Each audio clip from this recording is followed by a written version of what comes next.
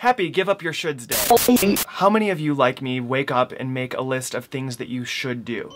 I should go to the gym. I should meditate. I should download some new music before I go to the gym so I work out harder. Duh. I should probably call my mom. I wonder if I should button the top button to make myself look more hipster. I should see what Britney Spears is doing today. I should probably throw away the shirt. So hipster. And it's literally the same list, day after day, of the same shoulds that put you in this emotional purgatory and make you almost paralyzed. You could give up your should about going to the gym, but then you go to the gym. It's not about what you do or don't do. It's about the thoughts and beliefs you are carrying with you as you move through your life. So play this game with yourself today.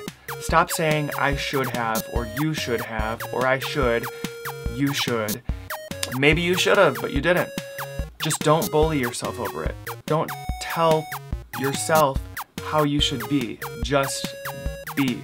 Don't waste your life away on shoulds. It's stupid. And just relax. There should be no shoulding. No shoulding today. I hope you have one of the best shouldless days of your life. Thanks for watching.